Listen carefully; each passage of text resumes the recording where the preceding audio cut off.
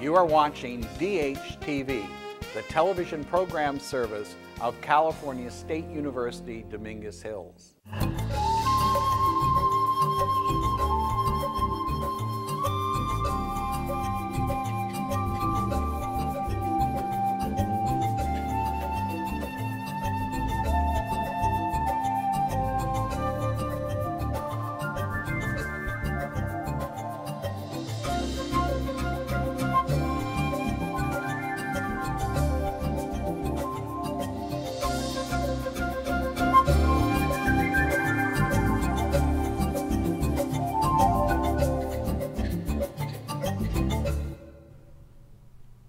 Hi, welcome to the Sociology of Work. My name is Sergio Soto, and uh, today is one well our last broadcast for this semester.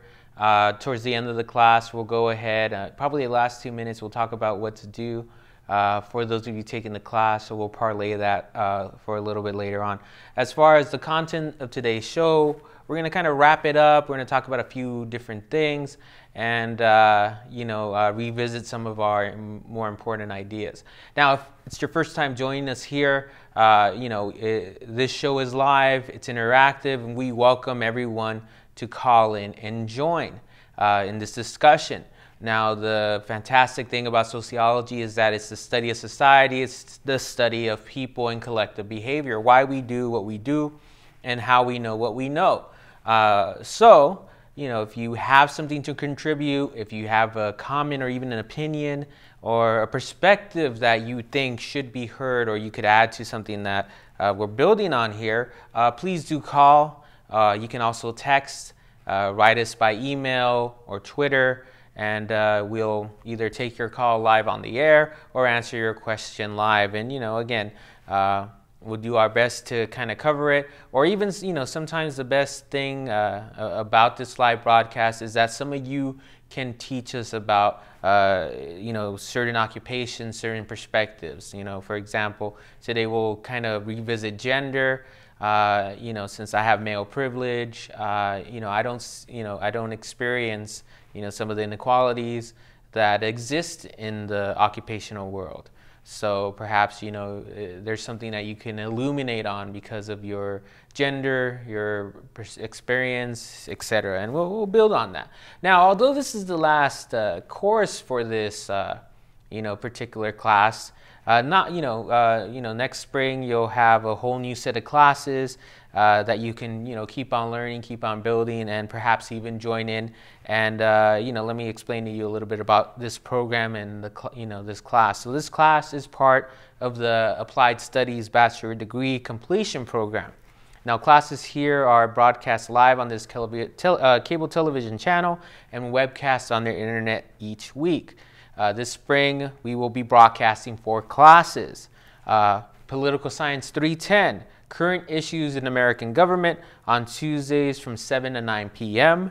Uh, Social and Behavioral Sciences 318, Cultural Pluralism on Saturdays from noon to 1.40 p.m. Uh, you know, this time slot, I, well, time slot right before this. Uh, this time slot, you know, next semester you can learn a little bit about political science uh, 335 uh, International Politics on Saturdays from 1.50 to 3.30 p.m. And last but not least, Communication 300, Organizational Communication on Sundays from noon to 2 p.m. Uh, so if you like more information about the Applied Studies Bachelor Degree Program, uh, completion program, visit our website at uh, www.appliedstudies.tv or you can call 1 866 278 6789, right? A very convenient program. Some of you who are taking it right now for a grade might, uh, you know, would agree. But uh, again, you know, always something to learn here on, uh, you know, uh, Cal State Dominguez Hills television. So, and you can always go back, you know, if something piques your interest and you're catching us for the first time, or even uh, those of you who are, you know, who've taken the class, you can always go back and check us out on YouTube. But anyway, without further delay, let's talk about the sociology of work again. So what we what we want to revisit first is this idea of the separation of work and residence. Now this is a pretty uh, recent phenomenon, right? This idea that where you work is not the same as where you live. Uh, for example, you know, we talked about uh, hunting and gathering. You know, uh, people have always been tied to the resources, uh, you know, the resources we need to live, and work is no different. So hunters and gatherers have lived amidst, uh, you know, uh, the territories that were the sources of their sustenance. So they lived where they worked and, you know, and they ate and everything, right? So, you know, you know that's uh, pretty easy to understand right and you know again sometimes in sociology we have to explore the obvious so we can really get to the point of how you know uh, some of these things shape our individual choices and lives uh, the other is agriculture. You know people used to grow and work the land for what they needed and they lived on the land right? But with uh, urbanization industrialization people started to move away. So the proximity of home and work you know, uh, came first. Like for example, you know, um, one of the things that we're going to start exploring, and again, this is uh, relatively new, is that most of us, uh, when we choose where we live, you know, it's not only going to be, uh, you know, whether we like the neighborhood or not, uh, but a lot of those factors are, are going to be related to, are linked to our occupation in, in two ways, you know. Uh, whether we can afford it with the remuneration that we receive, you know, the, the income that we receive from our work, or whether we can afford it or not as far as time and, uh, you know, uh, actually getting to work, right? And this is something that we're going to explore a little bit, you know, uh, in, in, a few seconds, right? You know, some of you might commute two hours, three hours just to get to work or from home and back. Some of us, you know, can't imagine doing that. So we might uh, choose to work somewhere closer and may sacrifice wages to do so. And sometimes we're lucky and you know those those type of things line up. However, you know with technology, uh, you know it made it possible for people to live away from where they worked. Right? When we first started talking about factory life and industrialization, work was centralized. You know, before people used to have their own little artisan shacks, or they used to work out of their homes, right? And you know, oddly enough, some of us are reverting to that. You know, we're working from home now. We're telecommuting, commuting, and we kind of discussed that. You know, maybe two or three weeks ago. But you know, this was a you know pretty revolutionary for people, right? You know, when we talk about the industrial revolution, not only did we change technologically, but we also changed the way we live. You know, we went from a system where we produced most of what we needed and therefore weren't really tied to a wage economy, to a system where we produced little of what we needed and we traded our time for wages so we can get the resources that, sources that we need. And the same thing with uh, you know, how we live, right? It's tied to not only what we can afford with our income, but how close it is to work, but we're still separated, right? Work is not somewhere, for most of us at least, where you just get up and go downstairs or go outside and start working. Most of us have to commute. So with public transit, you know, horse-drawn, you know, buses, streetcars, as well as railroads, it started to revolutionize this, right? You know, over time you started seeing, you know, more trolleys, uh, you know, more automated systems, you know, uh, and, and, today, you know, since the 1920s, since, you know, Fordism, right? Uh, the private automobile, automobile here in the United States became the primary uh, well, the choice way, I shouldn't say primary, the choice way of, you know, folks getting to work. Many of us drive ourselves to work. If you have to, you know, fight through the gridlock in, you know, here in Los Angeles in the mornings, you know this, right? You look around and everyone's driving themselves, right? Some of us choose to take public transit because it's faster or, you know, we can get work done while we, uh, uh, you know, make our way to work. But, you know, just kind of think about that, right? You know, uh, when we talk about work, well, you know, we have to realize that it not only is uh, influencing our choices because of, you know, again, income or, you know, where we live, but also the amount of time that we dedicate to work out of our day, right? If we, you know, live in a 24 hour uh, cycle, right? You know, most of, you know, there's 24 hours in a day. Uh, traditionally, we think of eight hours of work right? So you work eight hours, but you're also adding maybe an hour to commute uh, to work and an hour back. So that's 10 hours, right? Uh, hopefully, you know, most of you are, you know, not subject to that uh, and, you know, only spend a minimum, minimum amount of time, you know, in your commutes. But, you know, on average, right, uh, 24.3 minutes a day is spent commuting in the United States. And if you live in big cities, the average is even higher, right? Whether you use a private automobile or public transit, right? Because even if you take the bus, you have to wait for the bus. You have to schedule time your your whole what time you wake up, you know, according to when you catch the bus. So. Uh, what we're going to take a look at next is a you know snippet from uh, you know television program uh, you know, driven to despair. Here we want to kind of highlight the choices that people have made prior to the economic uh, collapse and thereafter. What, what kind of struggles are they having to uh, deal with, right? Maybe some of you can, you know, comment on this, you know, as we watch this, right? Some of you might carpool with strangers or individuals, or hopefully are not strangers anymore, but you car- you might carpool, right? You know, this is something that is not only encouraged, but again, you know, it's uh, you're, you're shaping your life away, uh, around what your economic needs are, your time needs are, and your uh, work needs are as far as occupation. So let's take a work, look at that now, and then we'll be back and we'll talk a little bit about the working hours, uh, what the overspent Ameri- overworked American is, and uh, you know expand on some of these ideas. So let's watch that now, and we'll be right back. At 4 a.m. in Hemet, California, the sky still black with night, Robert Schley is beginning his daily commute from the fringes of Riverside County to his job as a telecommunications technician in San Diego, 72 miles south. It's a nice drive, though. No traffic this early in the morning. Before hitting the road, he stops off five houses down to pick up his buddy, Michael Lauritsen, with whom he's been carpooling for about a year now, ever since gas crossed $3 a gallon. Both men and their families have decided it's best that they work the very early shift to avoid the region's notorious traffic jams, which can easily turn an hour's drive into two or three. Obviously, if your car keeps moving, you get better gas mileage.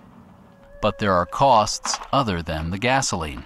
Now my youngest son always asks, Daddy's not home, Daddy's at work already you know, it's still dark outside. Yeah, daddy's, you know, daddy has to leave really early in the morning. Hemet is so far out of the cities of Los Angeles and San Diego that you might call it not a suburb, but an exurb. And with pump prices so high, Robert makes the most of filling up his hybrid with the least expensive gas he can find. Every last drop. His buddy Michael is just glad to see the work week ending. Little tired, but it's Friday, so I'll survive. Kick back for the weekend. Charger game Sunday. Go Chargers. It's not just people in car crazy Southern California who are surviving like this. How is it that so many Americans are stuck living so far away from their jobs with little choice but to fill her up and get driving if they want a paycheck? The answer has to do with planning, how we decide on the infrastructure linking our cities and towns. If we had known then what we know now, we would have would we not probably have would done stayed it. where we were. Yeah. The fact that there was virtually no train or bus service just didn't factor into their thinking when Robert and his wife Debbie decided to buy a modest four bedroom house in Hemet seven years ago. We didn't realize how quickly we would run cars into the ground. We didn't realize how high gas prices would go. It was a classic American proposition, whether in San Diego, Dallas, Chicago, Boston, wherever. Move way out to the exurbs, buy a dream house you could never have afforded close to work. The commute would be the only hassle, something that looked like a small price to pay for a house with a decent backyard and a decent school for the kids.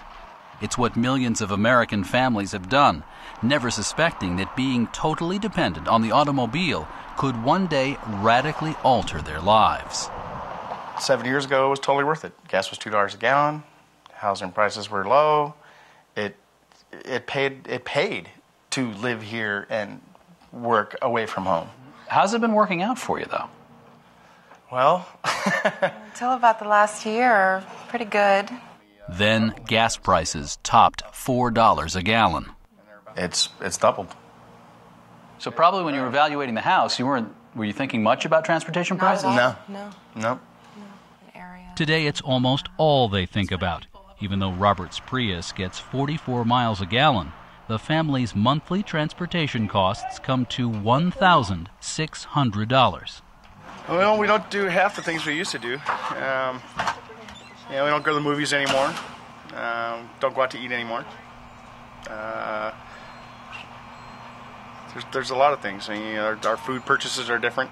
His carpool buddy Michael, who works as an auto mechanic, has pretty much abandoned his gas sucking SUV. If I had to drive my Suburban every day to work, uh, I'd be filling up every two days, 30 gallon tank, and we'll keep the math simple $4 a gallon, it's $120 every two days, looking at 500 bucks a week just in gas. I mean, who has an extra 500 bucks a week they can throw away on gas? I don't. I've got three boys. the grocery bill alone's killing me. I mean, during the summer, we stayed home. We didn't get to go to the beach. We didn't get to go to friends' house to play. We stayed home and played video games. Just to keep from having to fill up that vehicle too regularly. Right. Their dream house in Exurbia has become a kind of prison for them. Utopia, as imagined by older generations, it is not. This superb one direction highway, with its seven lanes accommodating traffic, Back at the 1939 World's Fair in New York, the most popular exhibit by far was Futurama, thrilling us with a vision of America centered around the automobile. traffic may move safely and easily without loss of speed. Then in the 1950s, President Eisenhower made good on the vision, launching a massive infrastructure project, the Interstate Highway System. But that's about where the planning stopped. It wasn't all that long before this ideal gave way to this reality. Because we've built so many roads ever outward, we have covered the whole of this continent with residential, suburban housing developments that are ever farther away from the urban core. And that was fine when energy was cheap and there was lots of it, but apparently those days are ending.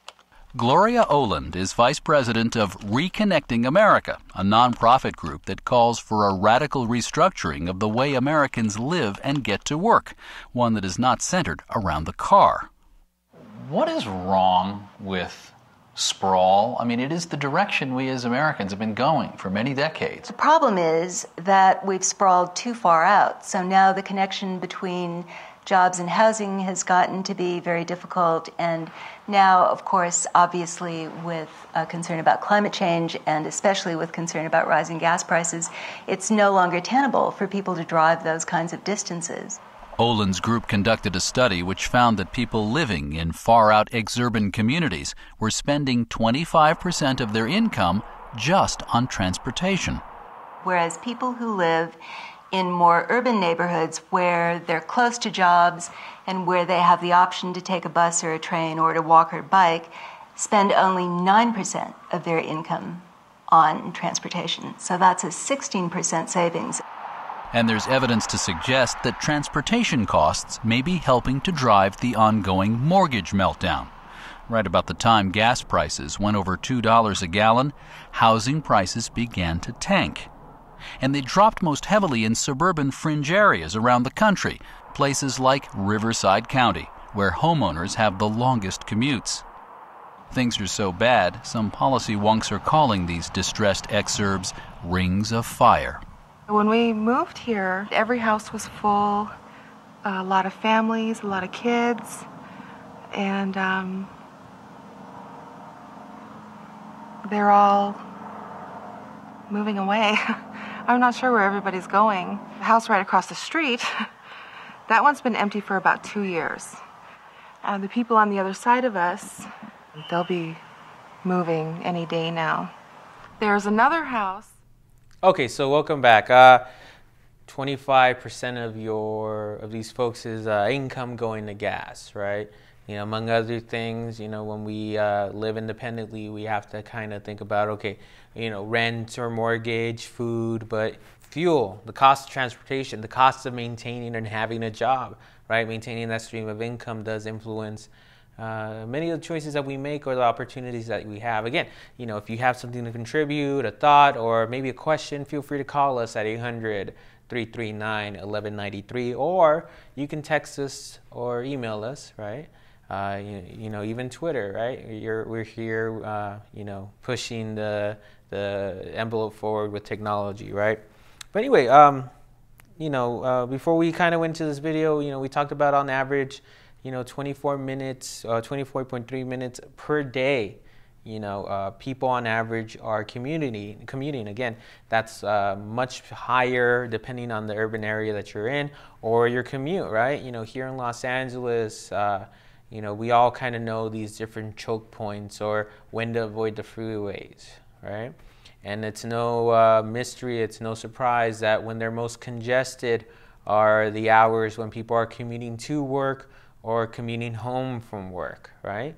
And you know, if you're an individual who has to kind of uh, bog through that, uh, you know, jungle of, you know, machines and humanity, right? It can be very stressful, right? So we'll talk about that, right? You know, also has a, you know, a, a health effect, right? One of the other things is, uh, you know, the hours that we work, whether or not we're commuting or how much time, you know, our commute adds to that does influence the quality of our lives and how we see it, right? So the number of hours spent on the job has become important and, you know, to a certain extent, uh, it's a very controversial issue, you know, um, today, right? You know, many feel, you know, the, this pressure of the time bind, whereby time pressures and demands uh, on one's time seem overwhelming, right? You know, later on we'll talk about technology, hopefully, you know, if we have time. And many of us, you know, um, you know, are restricted. We have to be at work on time, etc. But you know, for some of us, that work follows us electronically by email, text, or uh, other things, right? Um, you know, on the employer side, you know, there's been a, you know, there's a uh, worries, right? In the 1950s, observers worried about, uh, you know, with the gains in productivity, the advances in technology, the worry was that, uh, you know, these new innovations would redu re reduce the need of work or those working. So the biggest fear was the fact that people might have nothing to do, this idleness, right?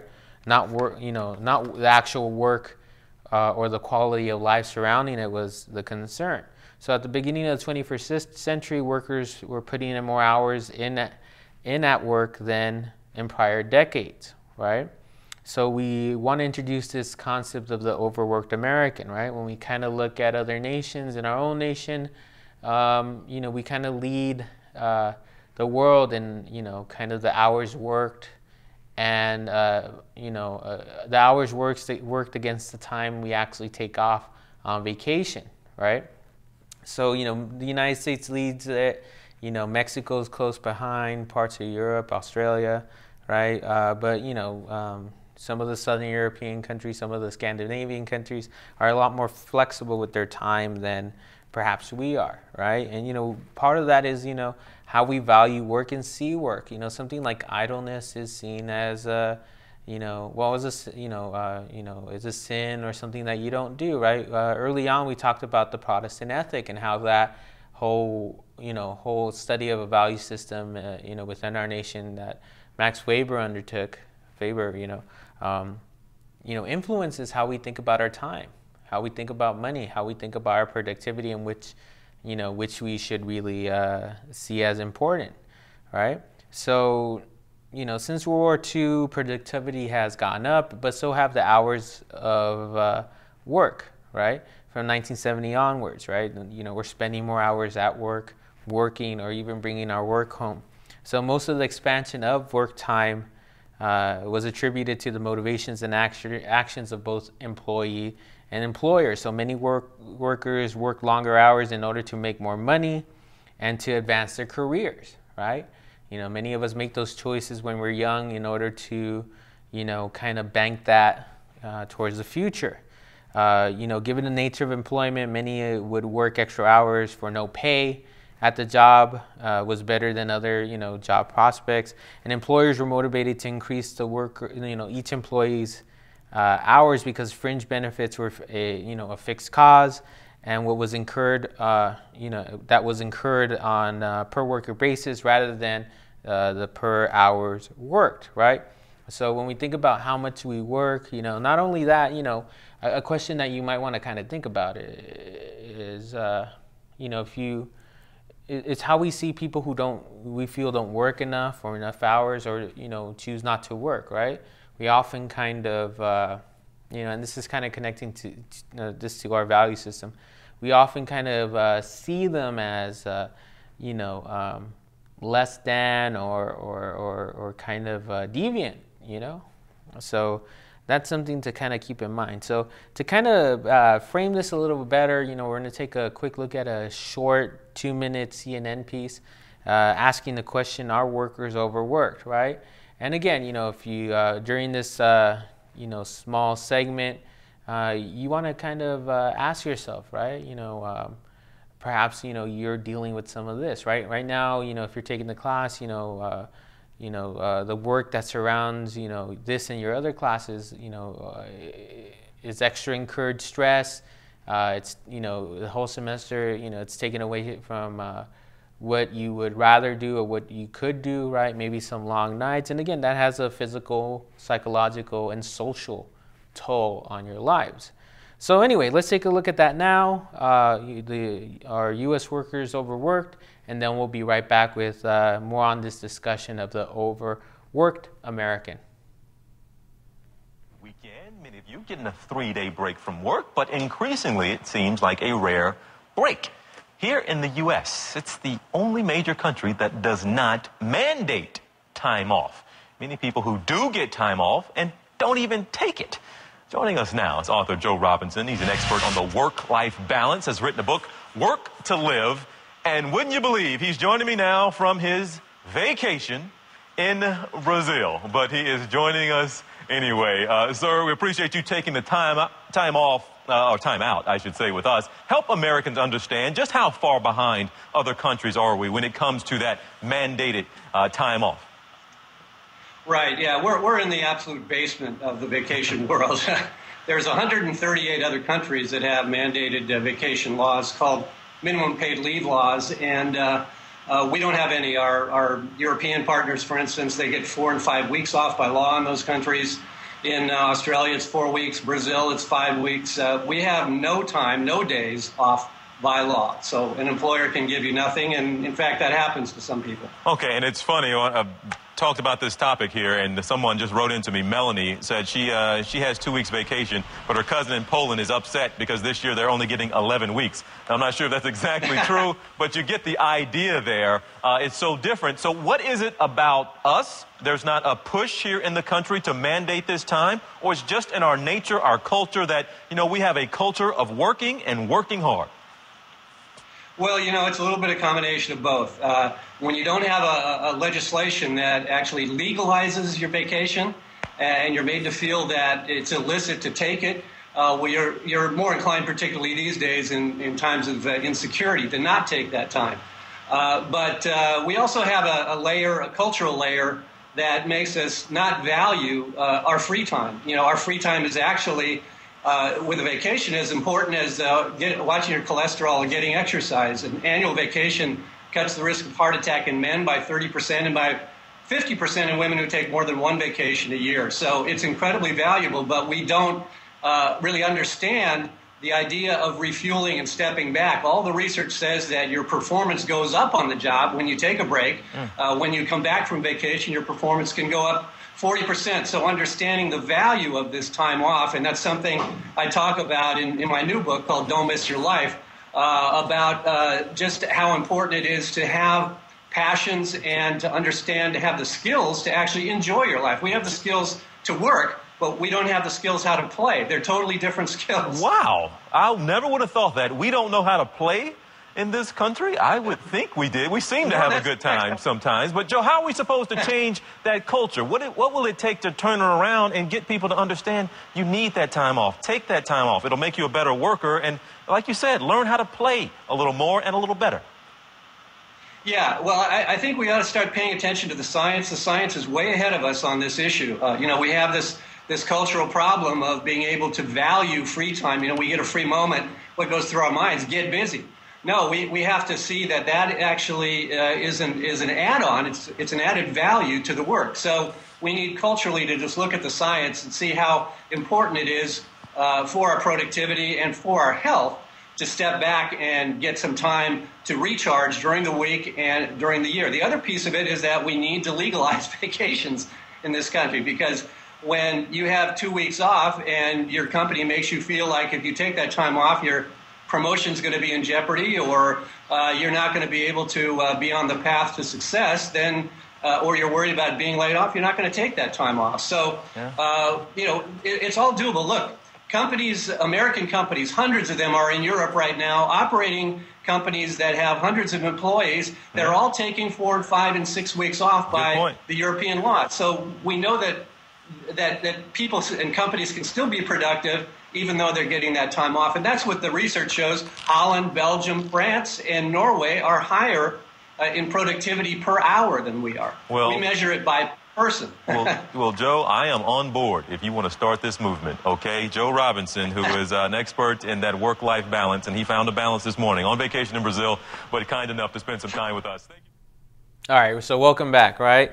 Uh, so one of the key questions there, right? Should uh, vacations be mandated by law, right? You know, if you buy labor, this is definitely not a, you know, uh, uh, a perspective that you would probably support. You know, not only paying for your, you know, employees' wages, perhaps health care, but also their vacation, right?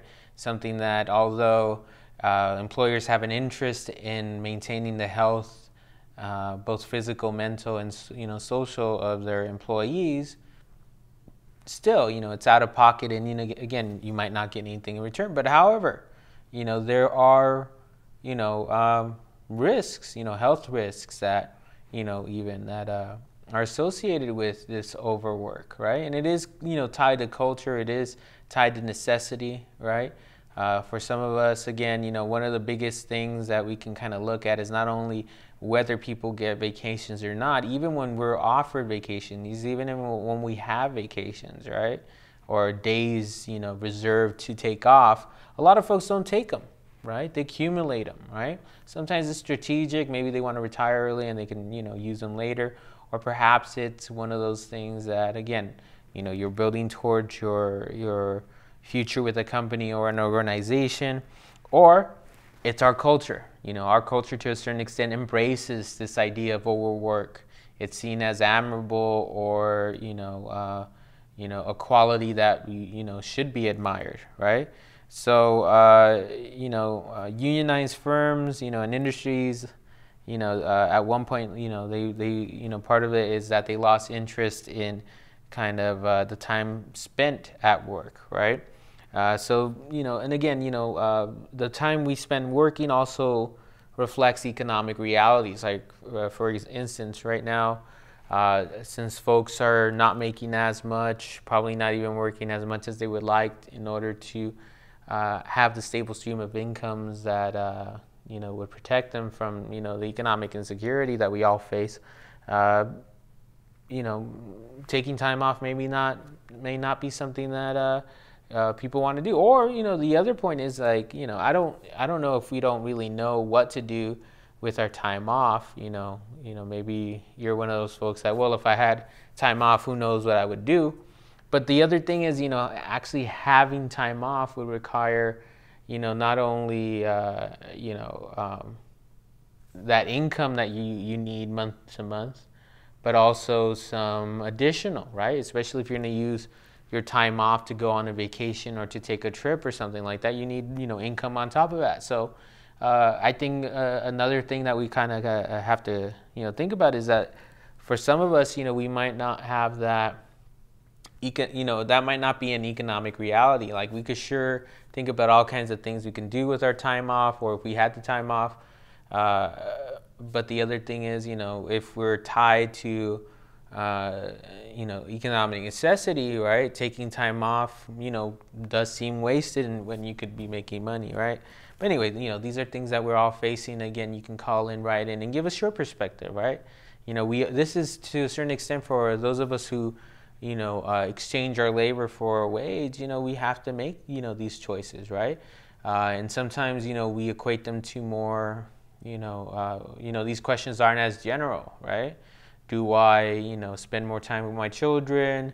Do I, you know, uh, use up those days or do I save them in case I need them, you know, etc.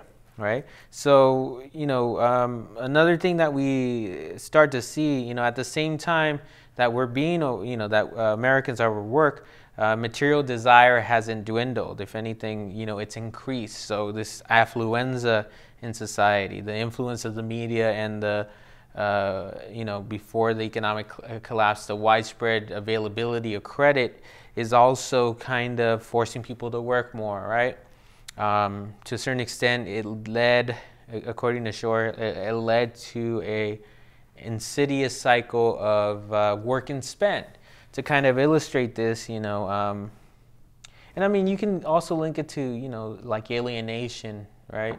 Uh, this, uh, you know, Marxist concept, and I think you find it there too, is that, um, you know, we work, um, you know, most of us don't, you know, feel great about what we do. Well, hopefully you're in a position where you feel pretty good, but at, at every point, you know, you'll be alienated. But what folks start to do is that, you know, well, they have to show something for their work. They have to find that gratification elsewhere, especially if their work is, you know, not providing it. So, uh, where we've been kind of uh, shepherded to or you know molded to or groomed in our society to find that satisfaction is with material goods like buying things right?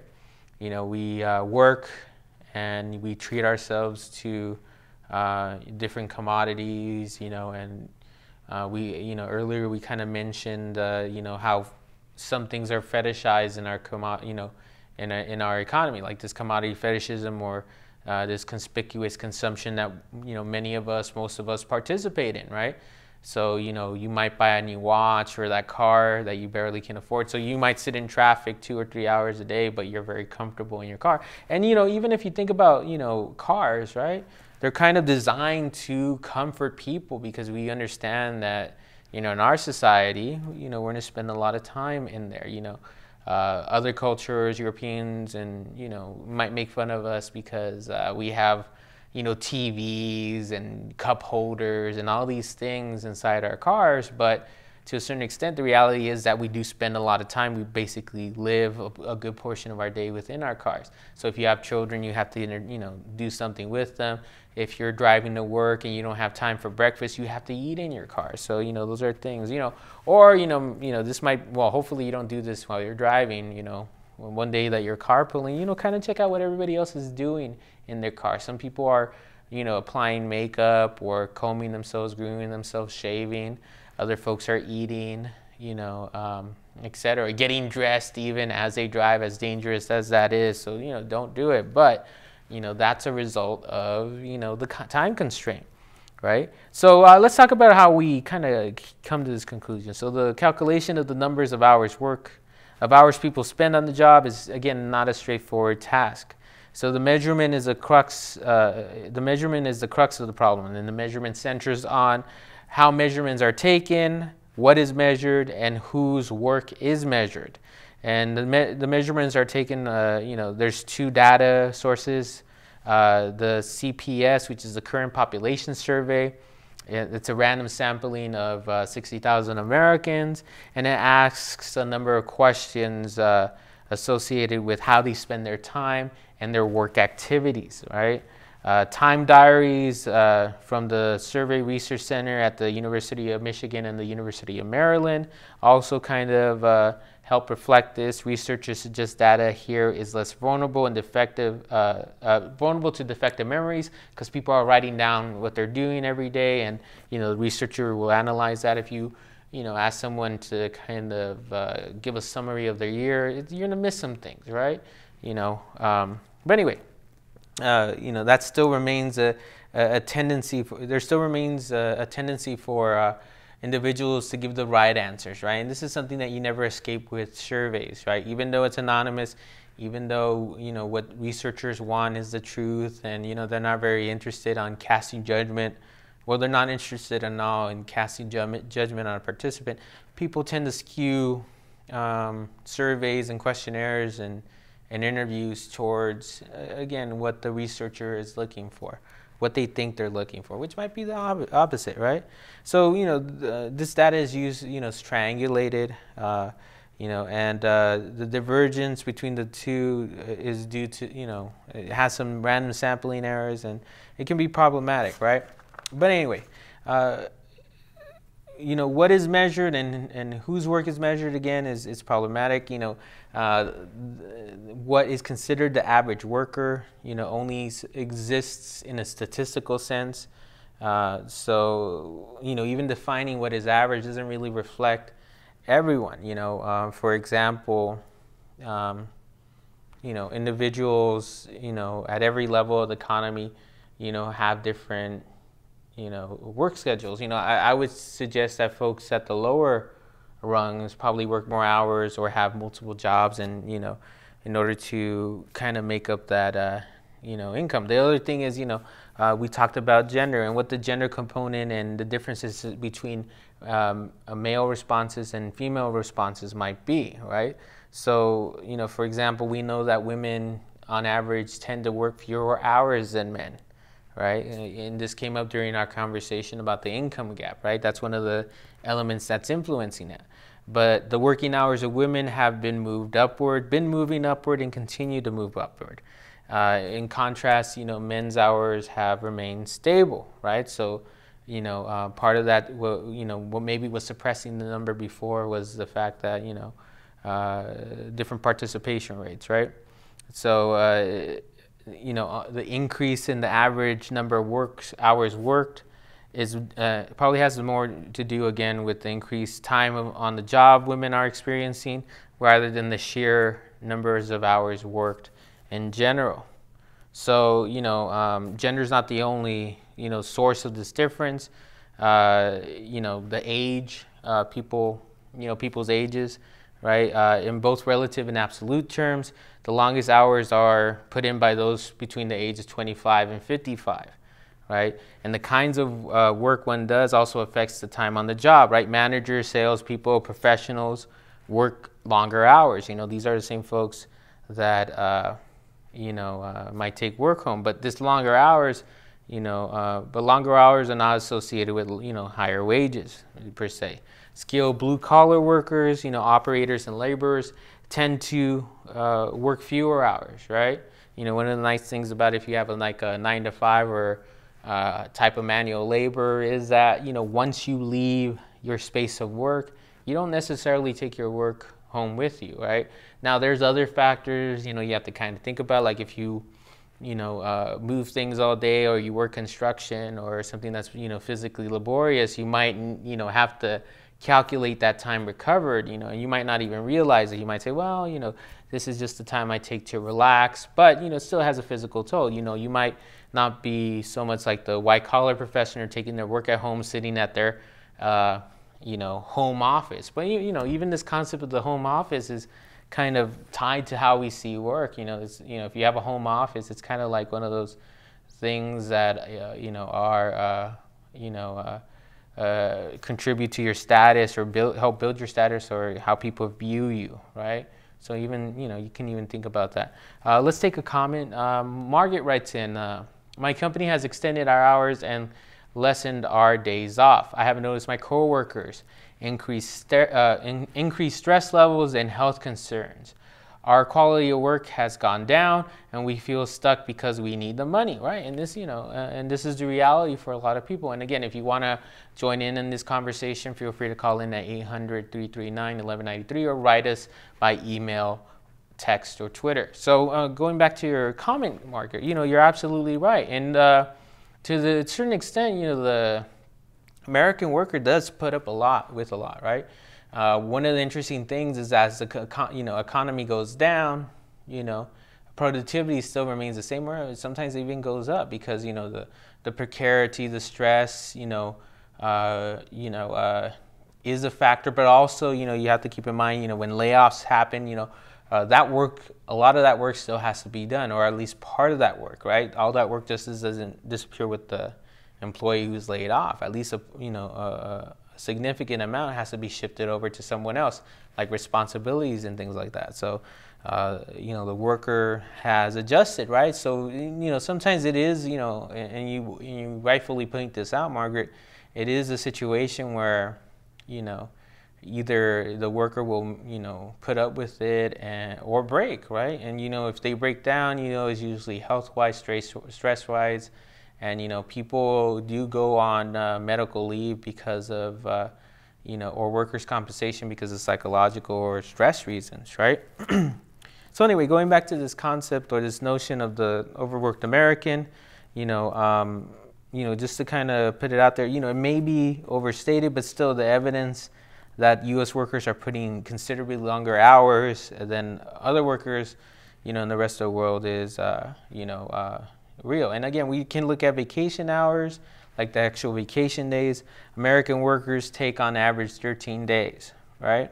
Now, uh, many of you might say, "Wow, 13 days? That's a lot," you know, but uh, compared to uh, you know uh, comparing to like Italian workers, Italian workers take 42 and keep you know keeping uh, you know 42 days, right? You know out of the 365. So uh, American workers uh, 13 days, Italian workers 42, French workers 37, German workers 35, right? And these are all industrial nations. These are all you know, our competitors in the economic world, you know, Germany, you know, uh, very industrialized. A lot of the vehicles that we see on the road, you know, either are designed in Germany or partially built in Germany, all right? Um, you know, additionally, for many U.S. workers, time spent away from the workplace is not necessarily time spent away from work. We kind of alluded this uh, earlier. Many employees or self-employees work, uh, self-employed workers, I should say, uh, take work home with them, right? So, you know, in order to catch up, in order to uh, mitigate some of that stress, you might take that work home, right? Or maybe it adds stress, right?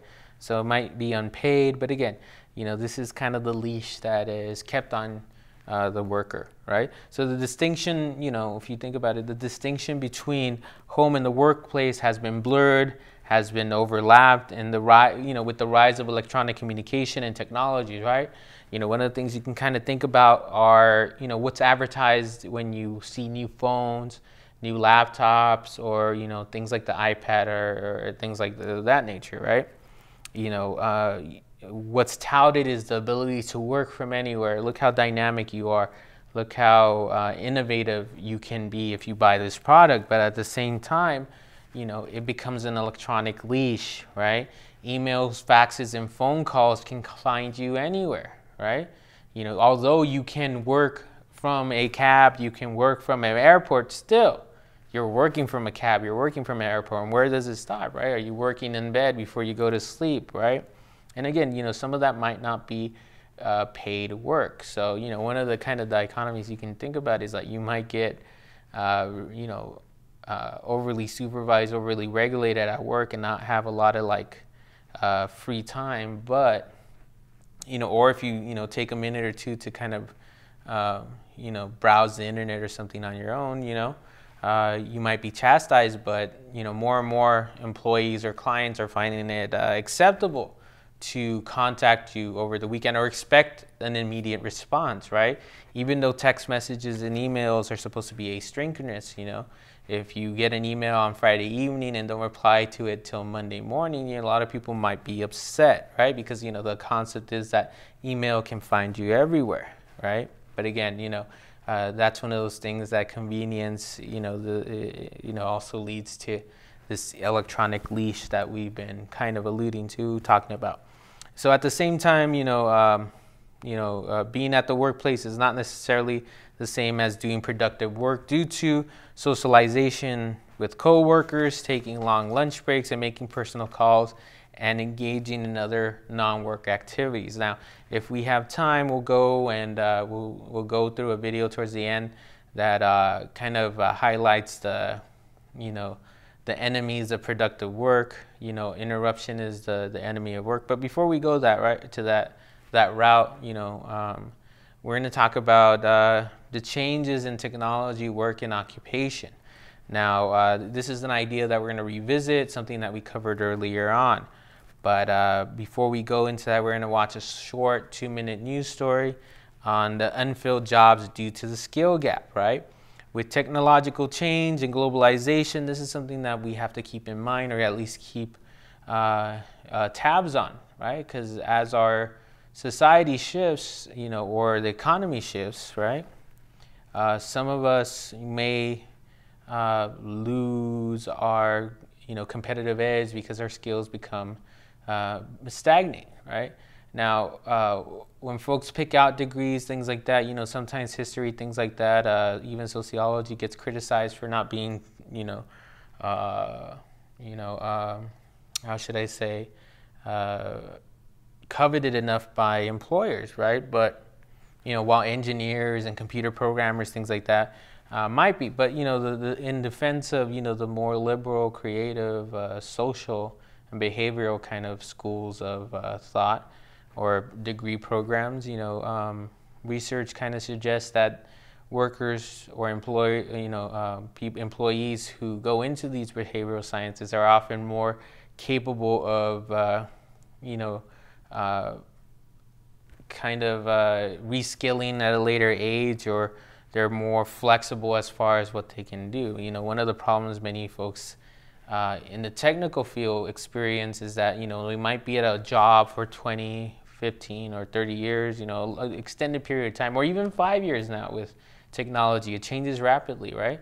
If they don't keep their skills up to date, if they don't refine them constantly, uh, they might be left behind. So if you know the firm, the place that they work for, or they're laid off, and they enter the you know new work, you know the new uh, labor market, you know their skills may not be what is uh, uh, wanted. Or, you know, this is something that many folks uh, with the decline of uh, manufacturing here in the United States have faced, right?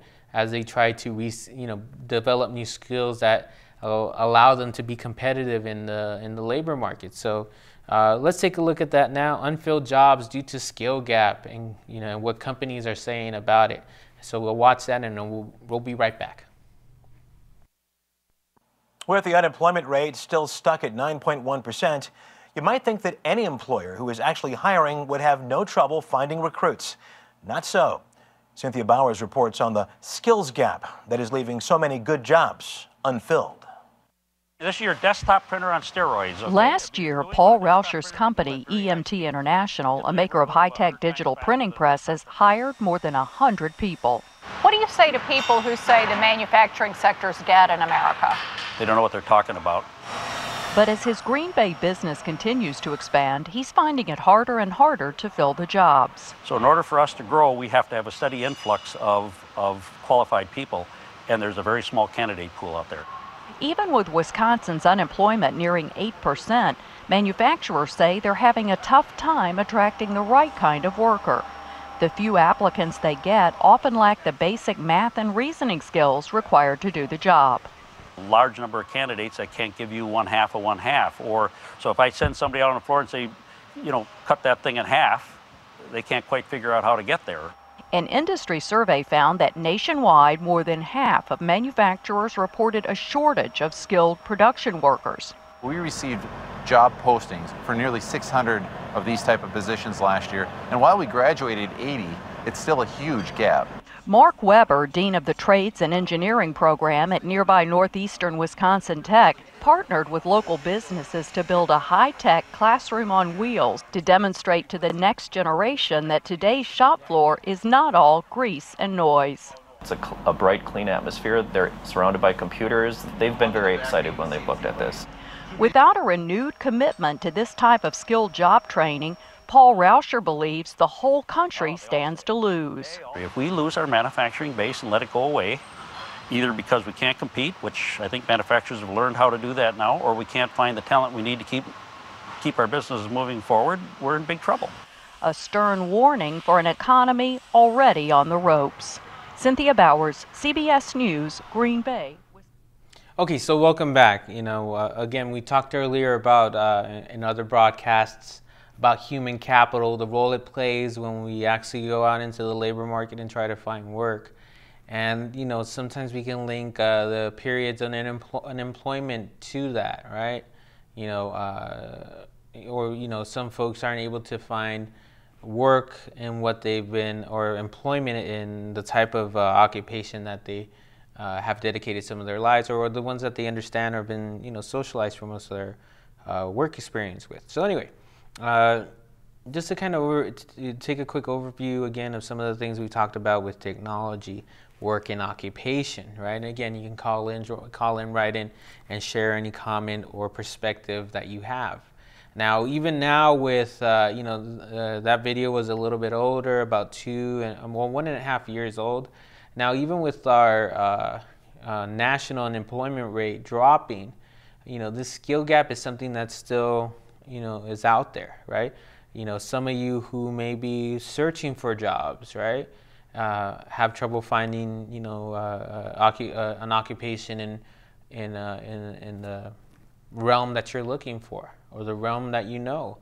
But at the same time, you know, you have to think about okay, what else are you seeing out there? You know, uh, you know, particular computer programs, particular, uh, you know, uh, manufacturing pl- platforms. So you know, uh, you know, uh, uh, opportunities are out there. But you know, one of the questions that you know that we ask is, you know, for who? You know, um, the other thing that kind of was mentioned in that video or alluded to was you know, education.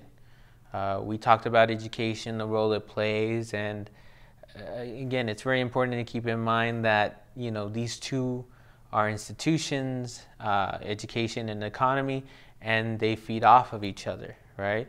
Uh, as people are born, they go into school, K through 12, then into college, the university system, etc.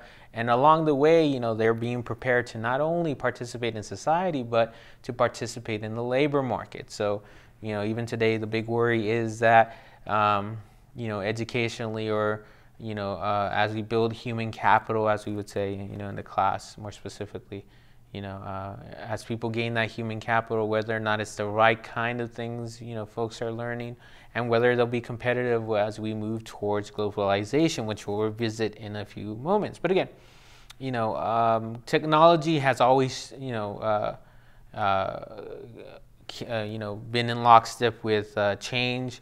It's influenced history, and it will continue to do so, you know, in the future. But you know, it's important to keep in mind that technology is a human creation, right? You know, people create it. It's not, you know, something that's rampant or independent of humanity. It is humanity, right? It's produced by humanity. It's shaped by culture, it's shaped by economics, politics, gender relationships, you know, etc. And again, with technology, it's not, you know, it's ideas, it's ways of doing things, it's products we build, it's things we make, and, uh, you know, ultimately it shapes how we live, right? You know, you can think about the standard of living, you know, it's in lockstep with technology, our standards for cleanliness. It's in lockstep with technology. And the kinds of work most people do, you know, has drastically changed, changed in the last 100 years. For some of us, it's changed drastically in the last 20 years.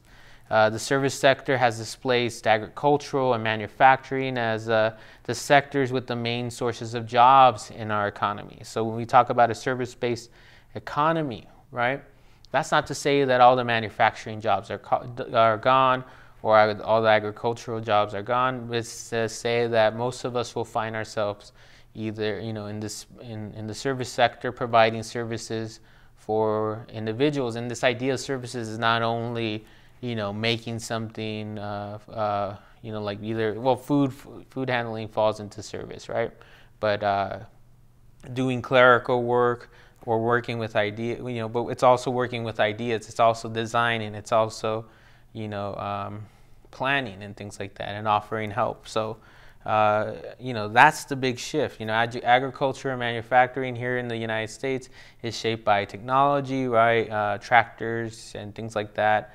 Uh, you know, uh, reduce the number of individuals uh, necessary to produce these goods. So, you know, in a relatively short period of time, you know, we've gone from an economy where adults worked as farmers, miners, and factory operatives to one again where people are in healthcare and education, in government, in sales, and other you know service sector jobs where most of us, most people will find themselves. Right? You, you know, even what I do, you know, uh, as an educator, that's a service job, right? So anyway, um, but again, you know, manufacturing is still a crucial part of the economy although you know it's changed significantly in the in recent decades, right? uh, you know, much of it is done with a little with a little bit of hu- direct human intervention. Uh, computer controlled processes and other advanced technologies have replaced a great deal uh, of uh, physical labor and mental labor, right?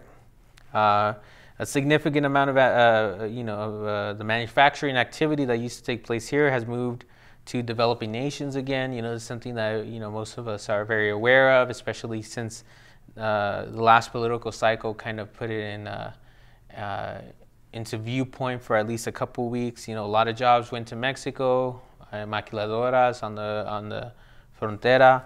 Uh, you also have uh, you know a lot of jobs that were outsourced or you know to to China, right? And you know, China's that word that gets you know dropped all the time, but it's also you know it's not exclusively those countries, but all over the world, right? Bangladesh, uh, you know, Thailand, anywhere where the labor is cheaper. Because again, now we're do- uh, competing in a global labor market to a certain extent. But I mean, again, you know, uh, when we talk about globalization, it's not, you know, entirely clear cut, right? There are a, a multitude of factors that, you know, um, decide these things, that influence these choices that are made in boardrooms or that individuals, you know, in communities uh, make, right? You know, just this week, uh, Apple announced that, you know, uh, at least one product line will move its production to the United States, right? You know, at some point in the future. So, you know, is this a political move or, you know, it, you know, has the cost of labor gone down significantly? You know, you know, we'll see uh, what really works out. So when we talk about economic uh, globalization, right? You know, we have to ask a question, you know, whether it's benefited the poor uh, in these countries by creating wealth and jobs, right? Uh, so in the developed world, you know, uh, uh, one benefit it's driven down the prices of consumer goods. So at least you know, if individuals aren't making as much money, they're at least able to buy some more products than they used to, right? And again, you know, one of the questions that we always deal with when we talk about economic globalization is whether it's a, uh, you know, uh, economic liberalism or, or neoliberalism is a is a rising tide that raises all ships. This idea is that you know as economic you know as a, capitalist world economy you know kind of expands and uh, enters new markets, you know people will be you know uplifted by new jobs, new opportunities, and you know one of the things is although people make an average of two dollars a day, at least they're making those two dollars a day, which then they could you know, turn around and buy something that they want, something that they need, right? So, uh, you know, uh, folks who advocate, you know, liberalism, you know, would, would point that out. Uh, the other side is, you know, it might be a race to the bottom, right? As labor is undercut, as, uh, you know, uh, the captains of industry seek out cheaper and more, you know, cheaper uh, and more economically efficient ways of getting their products produced, you know, they're going to seek out the cheapest labor. So right now it might be China, but China doesn't want to be China, right? It wants to have its own internal economy. Once, you know, um, labor is too expensive there, and you know, when folks talk about the currency war or allegations that there's a currency war between the United States or and China, where China kind of uh, uh, depresses the value of the yuan um, artificially, you know, one of the reasons for that is that, uh, you know, it's a way to keep costs down, right? Because you know if you if, if the if the you know if the rates uh, at which you you know buy labor you know aren't you know cheap enough, you know your jobs are going to move elsewhere, and you know there's speculation that within the next you know 20 years or in the second half of this uh, century. Uh, you know, just like Japan was uh, considered, you know, the place where all the cheap stuff was made, now China is a place where you know all the cheap labor and the cheap stuff is made. You know Africa will be you know the new China, right? And you see some of that kind of evolution now. You know there's a, a great deal of Chinese investment in you know Africa, especially uh, you know as far as resources and arable land but also you know uh, you'll start to see more and more manufacturing and you know what's that going to mean for you know, such a large continent that has and continues to experience a great deal of strife. So uh, again, with globalization, you know, technology is important, but you know, um, Uh, we're going to kind of take a quick look at a video that's kind of a, at the centrist, uh, in the center of this kind of uh, argument. You know, it's not so much, uh, you know, uh, necessarily a, a, a total, a, a, viewpoint that's totally advocating this view of race to the bottom, but it's not, you know, the kind of uh, Thomas Friedman argument that the world is flat, you know. So what we're going to look at, watch next is actually a short interview with uh, called uh, globaloney, right? You know, pun on words, where uh, we're going to challenge some of these ideas of globalization, at least from one perspective. So uh, let's take a look at that now, and then we'll be right back. Or if it, well, uh, well, we'll, we'll, we'll lead it in, right? Uh, so a couple things, right? So um, before we go to that video, uh, you know, we'll talk about um, making globalization technology technological change more equitable, right? Uh, when we think about globalization and you know whether the world is flat, and this is kind of where the arguments with uh, Thomas Friedman's uh, original argument. He's kind of uh, adjusted a little bit, you know, especially in his last, uh, you know, if, in my opinion, his last book, he adjusted it with his book, you know, Hot, Flat, and Crowded. But one of the arguments for, again, uh, global capitalism and uh, this whole concept of the world is flat is that uh, the flattening of the world is kind of like the evening of the playing field, right? Um, to a certain extent, uh, if we're allowed to pursue our own uh, inherent qualities and earn them through merit, you know, we have a chance to become more and more prosperous, right?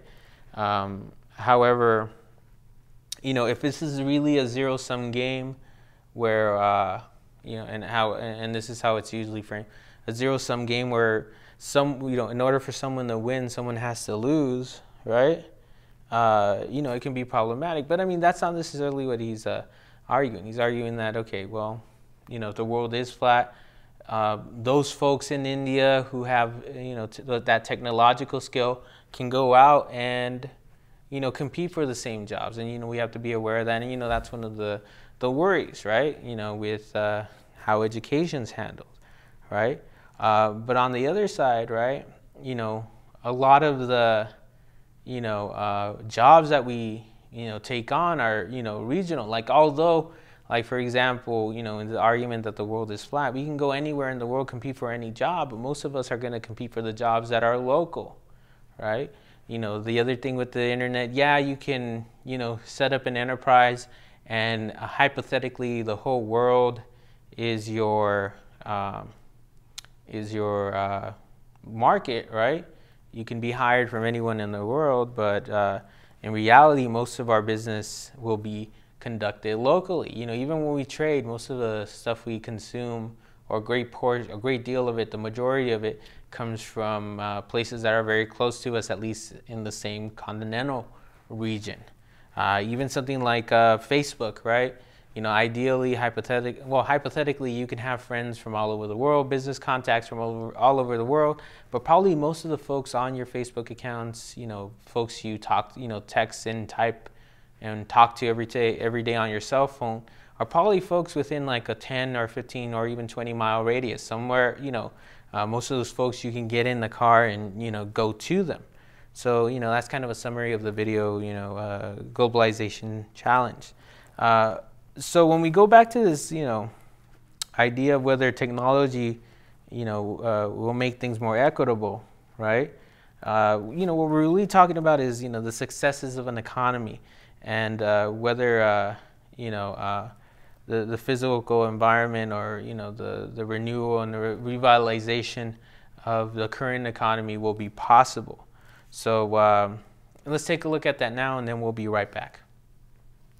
Important and influential developments of our age, blamed as much for its ills as for its benefits. Well, are we really as globally linked as we think we are? Um, Pankaj Ghemawat, a professor of global strategy at the IESE Business School in Barcelona, thinks not. He's here with me now. Uh, Pankaj, interesting. I mean, everybody thinks that you know, it's a big taken of our time. globalization is a big issue, but you're suggesting that maybe we're not quite as advanced as we think we are. Well, it's not just me who thinks that. If you talk to professional economists, there's virtually unanimous agreement that the big puzzle of our time is not why globalization is as extensive as it is, but why it's as limited as it is. And while economists have been known to be wrong about things, looking at the data bears them out very closely. So think of Facebook. Yeah. What percentage of people's friends on Facebook are located in a country other than where those people are? In other words, if you're in the UK, it's more than likely all your friends are going to be in the UK too. 90% it turns out. Interesting statistic. Okay, so how do we generally measure globalization? We do this in terms of trade, not necessarily in terms of Facebook and, and the amounts of times you've been poked, but in terms of trade, in terms of money, in terms of people movement, um, what else? Uh, so I uh, work on something called the DHL Global Connectedness Index, where we actually measure these things. We're preparing the next release of the index. We look at trade flows, capital flows, people flows, and information flows broken down into different categories. So people, tourism, students, immigrants. Okay. You were just talking about the limitations even on Facebook. Um, is this just because of the language? Is it because of distance that really is making the difference here in terms of globalization? Well, it's I just think too much trouble, too far. I, I think it's all those factors. I think language plays a big role in Facebook and Twitter, where you see the same pattern on leader follower ties. Administrative policies, the restrictions on Facebook and Twitter in China obviously have some influence on the global makeup. Geographic distance still matters a great deal. And you have far fewer Facebook friendships or Twitter ties at long distances. You have some stuff, some, some, some very permanent, uh, uh, permanent maps of the world yeah, that measure this. There's one in particular, for example, HSBC, and we think of HSBC being this big global bank, but if we look at your map, perhaps it's not so global in terms of lending after all. Well, the map illustrates that most major corporations still derive the bulk of their revenues from a single geography.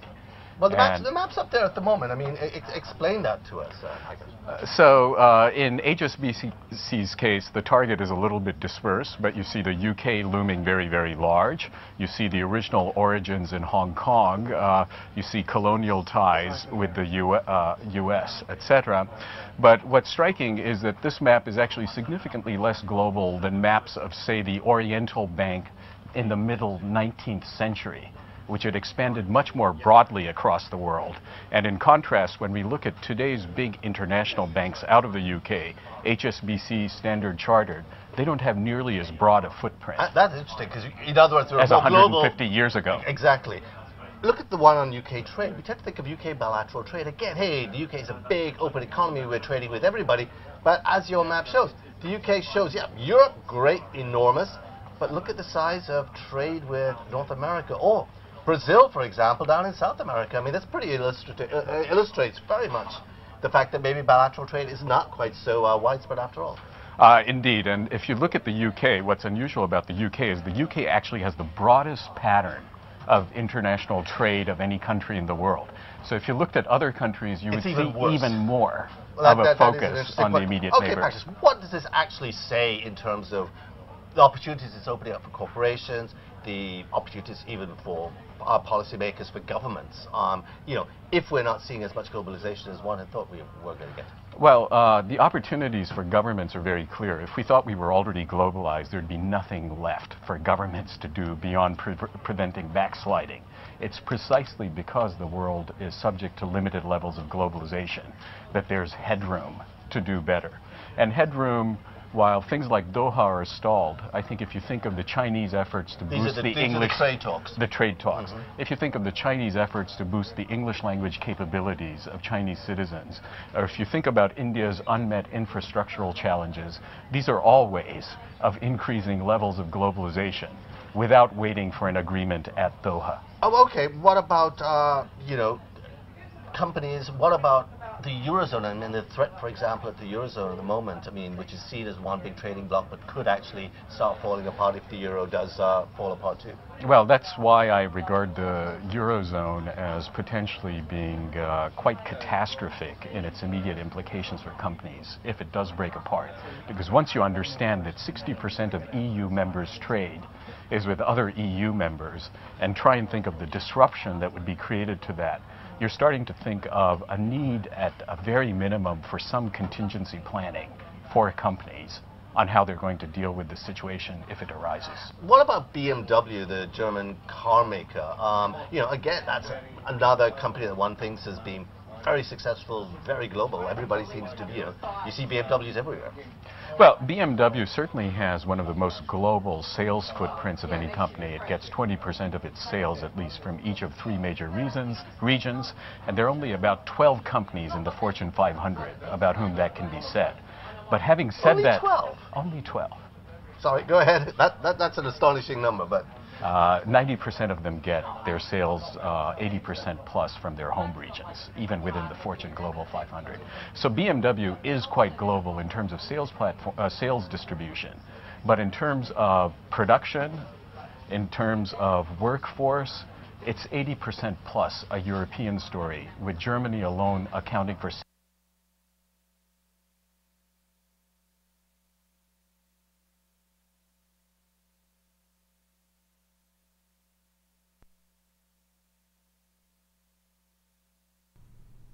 Okay, so welcome back. Okay, so that last image we saw, uh, you know, how corporations are broken down, you know, where the influence are, and you know, um, you know, the the speaker there, you know, he he wrote. I think his book is yeah, his book is called uh, "Why the World Isn't Flat." It's kind of a response to Thomas Friedman's. Uh, uh, the world is flat. But anyway, uh, some interesting things there, especially with BMW, right?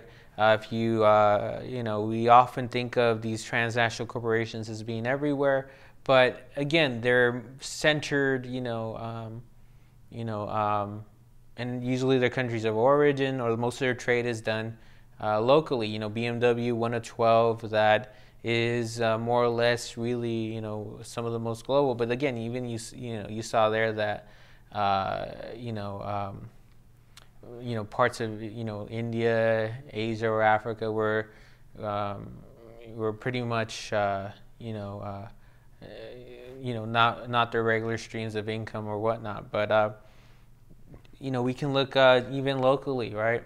You know, something like uh, the vehicles that are made, right? And I think I mentioned this last week, but uh, you know, something like you know, to, I think the Tacoma is, you know, and this is not a plug for like Toyota Tacomas, but like the Tacoma is like a car that the, you know, is, you know, one of the highest percentages uh, as far as American made, you know, assembled here, et cetera. And, I think it's uh, linked to part of the, part of the reasons, you know, is, uh, you know, uh, an economic, economic one and political one. So this takes us into our discussion of okay, so uh, if our economy is under threat from uh, globalization, from um, being undercut by cheaper labor, et cetera, so what can be done to, you know, um, you know, minimize the local damage, uh, you know, brought on by globalization or technological ch- uh, change, right? So again, there's no perfect strategy, you know. Um, the whole globalization thing is shifting every day, and we're still trying to figure it out. But uh, one of the ways that you see politically, you know, uh, uh, the protection of some of these manufacturing jobs, or when folks, you know, um, or you know, companies ask for assistance, you know, uh, you see uh, the federal government come in and, and or state government or local government government come in and play a role by offering, you know, programs that help retain uh, the jobs that are tied to an economy, right? So some of the cost is borne by the you know amount of uh, state, local, and uh, federal tax that is collected.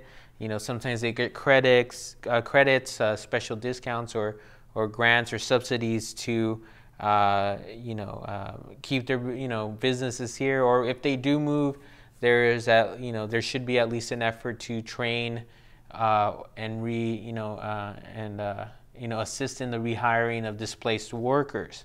Uh, the other thing that you might see that you see uh, you know is the, the, the career shifts that you know people you know experience.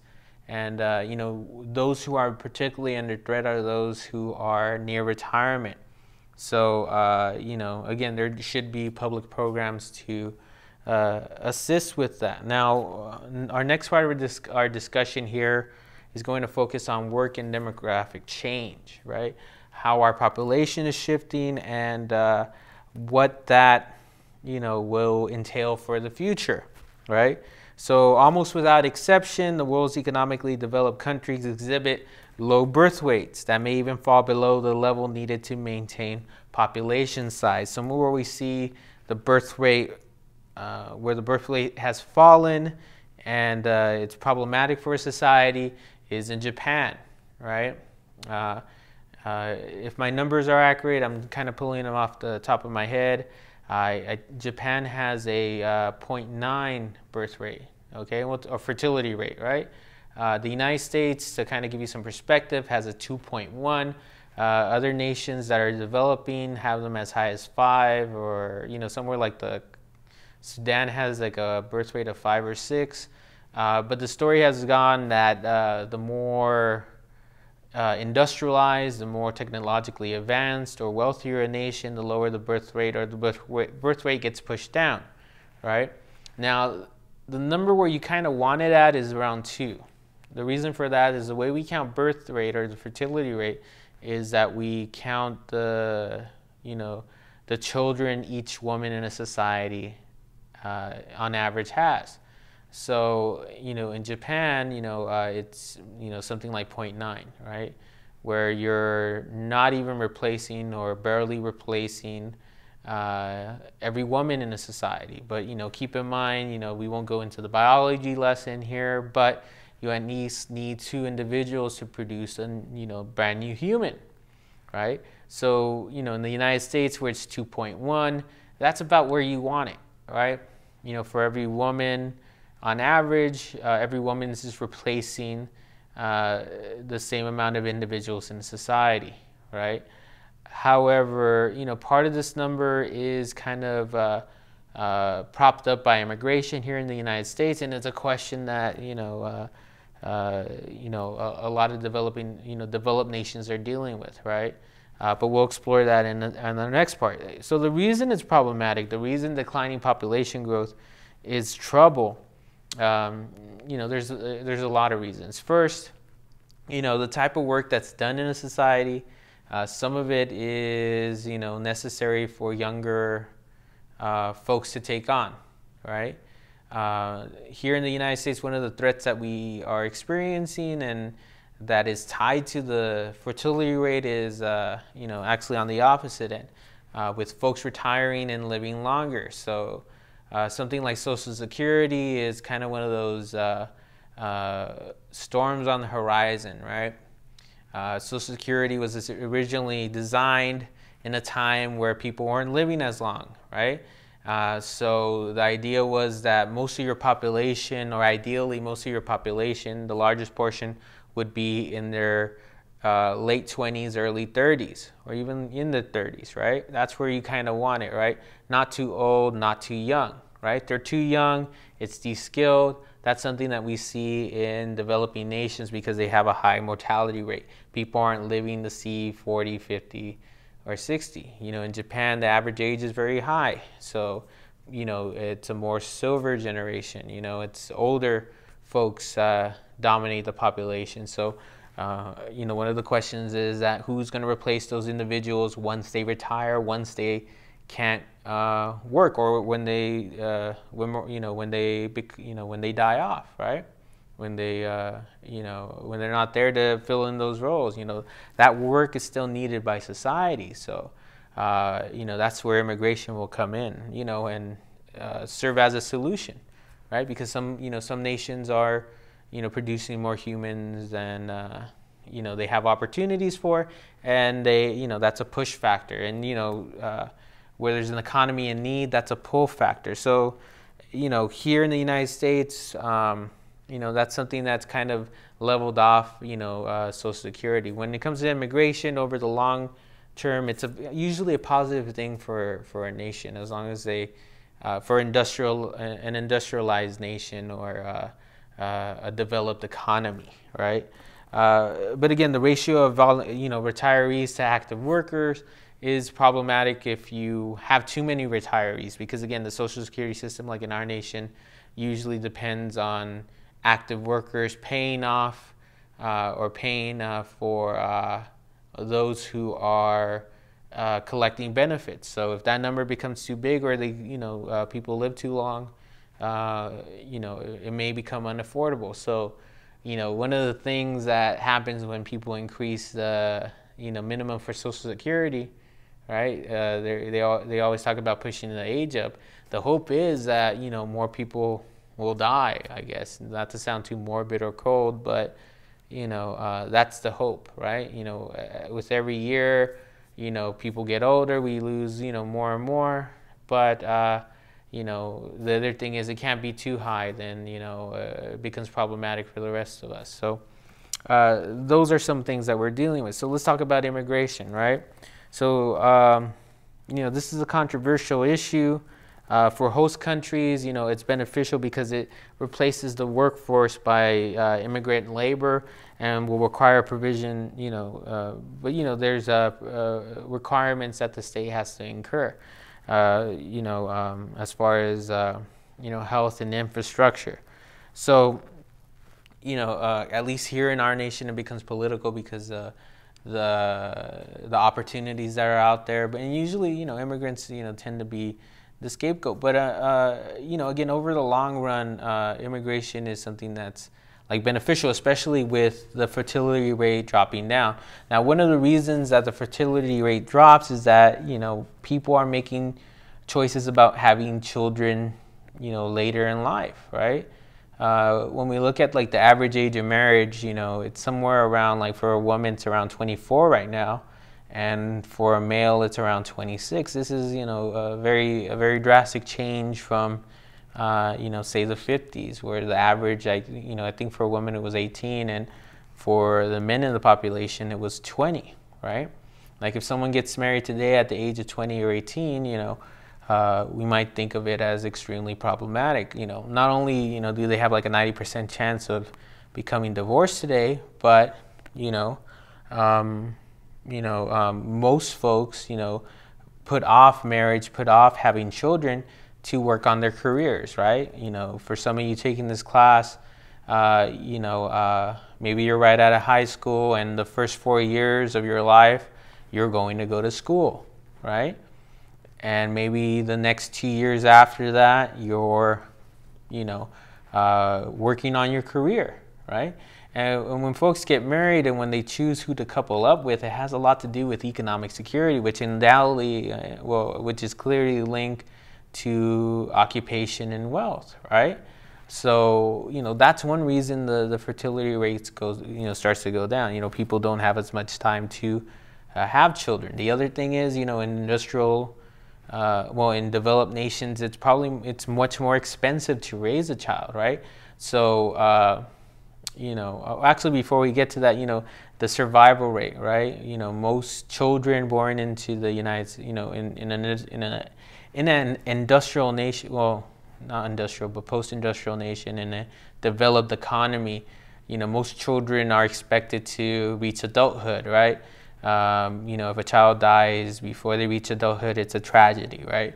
Uh, it's not an everyday occurrence. It's not an everyday part of life. It's not a reality that you know, uh, unfortunately, a lot of folks in the fa- world face because uh, uh, they don't have the right, you know, they don't have uh, good infrastructure or they're exposed to diseases and, uh, uh, you know, economic factors like, you know, malnutrition like elsewhere in the world, right? So, the, you know, the, the survival rate is much higher. So, when we invest in people as well, you know, the, the expectations within our economy are much higher, you know you know, children need more education. You know, they go through, you know, they go to school from, you know, kindergarten to uh, 12th grade. You know, that's, you know, usually mandatory. If you're average, you know, that's going to get you out of school around, you know, the age of 17 or 18, right? And then, you know, in our economy today, you need, uh, for most of us, will, you know, most of us will need post, uh, you know, uh, post high school, uh, post high school education, whether it's developing a trade or going to college or the university, right? So again, that's adding years as far as when we could start a family or not. And when we start a family, you know, most of us, you know, if we plan it, uh, you know, want economic security first, or even before people get married, they want that economic security first. First, So you start to see people, you know, not getting married till they're 26, and you know, um, again, careers get in the way, right? So maybe you have one child, but you can't spend, you know, as much time or the same amount, like if you go on maternity or whatever, uh, away from your career. So again, these real life choices are pushing down the fertility rate, right? Or some folks are just saying, you know, well, you know, it's too expensive or I don't want a child, so, you know, they're separated from that cultural obligation. But again, immigration does uh, help buffer that, right? To a certain extent, uh, if you kind of, uh, you know, think of some of the macroeconomic kind of dimensions of immigration, right? To a certain extent, when adult crosses over or uh, enters a country that they're immigrating to, uh, a lot of that uh, human capital that was invested within them from their original state is then subsidized to uh, the new country uh, that that person will call their home, right? So, you know, the one thing to keep in mind, you know, that costs money and that's an investment that we make in humanity. But, uh, you know, there is a benefit to it when someone, although, you know, hypothetically, well, depending on their skill level, you know, is uh, participating in the economy here. So whether it's like a, a chemist or scientist from, uh, you know, or uh, a day, you know, a migrant laborer or farm worker, right? You know, all those folks have, you know, um, you know, human capital invested to, within, you know, in them, and you know, have a, you know, a, a, usually a positive effect on the long-term, you know, economic and social aspect of countries, including the United States. Uh, what we want to discuss next is the is closing the in income gap, right? So workers today lack enough time for meeting work and family responsibilities, right? But many also are subjected to a considerable amount of uh, financial pressure. So after the first two de decades and you know post World War II, the income gap between the top quintile and everyone else has widened, right? Um, for instance, you know, this past uh, year, or actually last year around this time, uh, part of that discussion, you know, was shifted, right?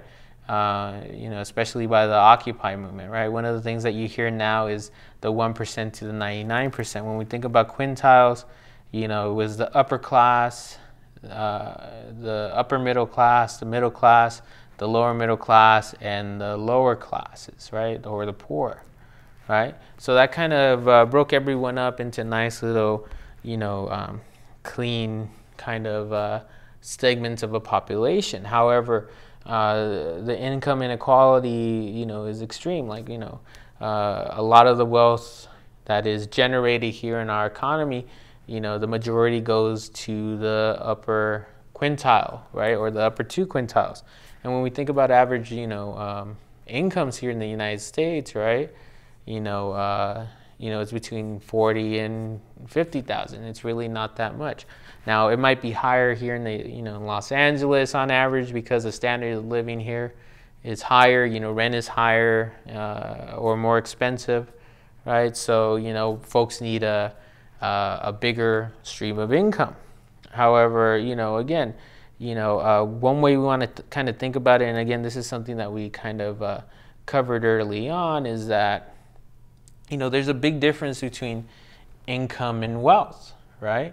Wealth is what really, uh, you know, provides security. Income is, although, you know, we use it to, uh, you know, generate wealth or provide us with the things that we need to survive, uh, you know, it's only, you know, income's only paycheck to paycheck, right?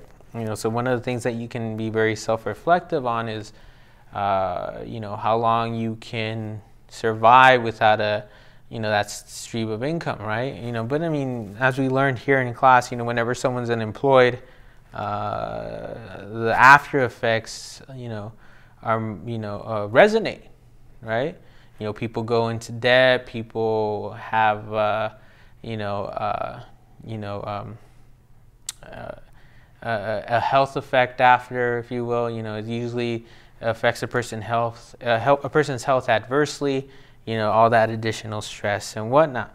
So, you know, again, even though some work, you know, the majority of the workers have seen a modest improvement in their in their income, you know, globally, you know, uh, to a certain extent here in the United States, it hasn't, you know, kept up with inflation. So when we kind of take it take it into uh, kind of a, a, global perspective, again, you know, educational attainment is strongly tied to the wages and salaries that people earn. And I mean, this is something that we've been kind of told for, you know, since we were in high school for most of us, right? You know, if you graduate with a high school diploma, you're going to make more money, right? And you'll be close behind those who have a college degree or have an advanced degree. You know, if you drop out, you have a far worse, you know, far worse time in the economy. And again, this is probability. You know, although there are individuals who, you know, are you know who have PhDs and are struggling to make ends meet, and there's individuals who drop out of high school who have become very successful, even uh, running their own companies and uh, you know. Uh, have a great deal of success as entre- entrepreneurs. The story is that on average, you know, folks who do drop out, you know, um, you know, have a higher probability of, uh, you know, living in poverty or, you know, uh, you know, having a shorter life, etc., as opposed to folks who, uh, you know, have gained that kind of, uh, uh, you know, not only the status but the different opportunities that a higher education affords, right? So, um, you know, the, one of the issues that we, you know, want to kind of bring up is, you know, um, education is sometimes one of those things that, uh, you know, reinforces uh, inequality in society, right? You know, when you, if you're able to send your child to school, you know, it's uh, to receive a higher education, you know, that's usually tied to uh, you know, parents or guardians' economic well-being, right? And, you know, this is one of the critiques of the way education is structured today, and you know, it's it, and uh, you know, rightly so, right? You know, uh, even if uh, talented individuals who go like to Harvard or the Ivy League schools, you know, they undoubtedly will have a harder time because. Uh, these other stresses that are associated with uh, survival or living every day to day, right? You know, uh, you know, I often say this. You know, one of the best things you can do for your child is, uh, you know, actually, you know, assist them in the pain of the of their education. You know, if you're able to graduate without debt or with debt or without, uh, you know, incurring a, a, high financial cost, you know, you're off. You know, you're better off. You know, because otherwise, you know, the clock is ticking and you have to take uh, another, uh, you know, whatever job comes first. So unfortunately, you know, we're almost out of time. Uh, just a quick note for those of you taking the class uh, or receiving a grade, I should say.